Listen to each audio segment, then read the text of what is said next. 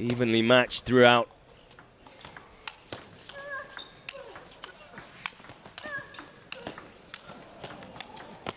And what a rally that was.